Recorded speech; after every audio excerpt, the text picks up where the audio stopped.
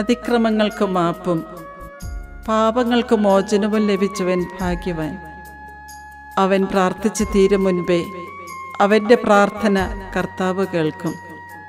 അവന് വേണ്ടി അവിടുന്ന് ഒരുക്കി വച്ചിരിക്കുന്ന അനുഗ്രഹങ്ങൾ എത്രയോ വിപുലമാണ്.